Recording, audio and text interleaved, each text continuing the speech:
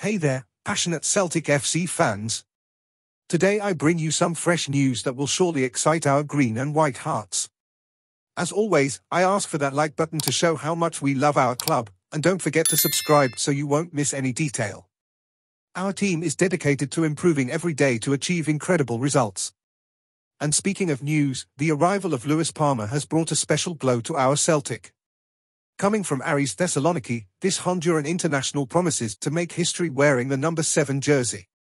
With a five-year contract and an investment of £3.5 million, Palma has already expressed his excitement on his Instagram, I am very happy to be part of the Celtic family.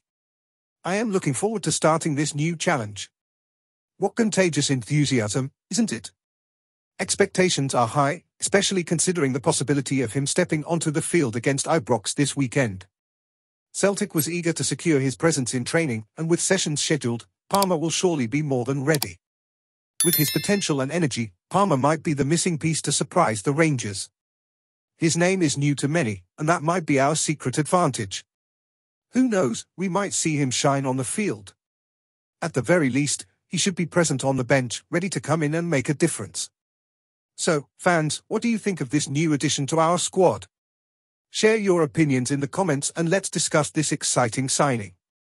Don't forget to hit that like button to show our love for Celtic and subscribe so you won't miss any more exciting news like this. Together we are stronger, and this season promises to be incredible. Hail, hail.